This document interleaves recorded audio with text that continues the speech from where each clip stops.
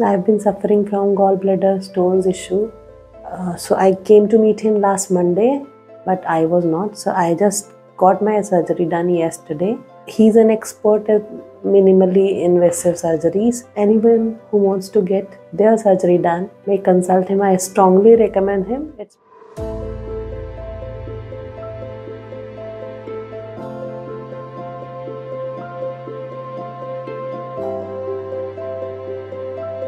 Good morning. My name is Dr. Anurag Pahuja. I'm professor at Lovely Professional University here in Jalandhar itself. I've been suffering from gallbladder stones issue and I got to know around uh, one and a half month back when I had severe pain and because of that I had pancreatitis for which I got treated for almost two weeks uh, there at Ambala and I was waiting for the surgery to be done but there was no pain so i just took it lightly. Again 10, 10 days back i had a pain. So my sister who's a doctor herself suggested me dr jasmeet singh Ahluwalia and then i read through the reviews. The reviews were great.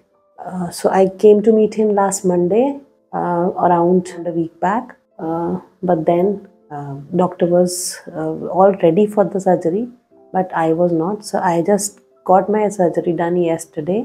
That is yesterday was 7th 7th of november. Today is 8th november. I, i'm feeling much much better. Though there's a little bit pain on the side of the uh, stitches. You know i have been on walking.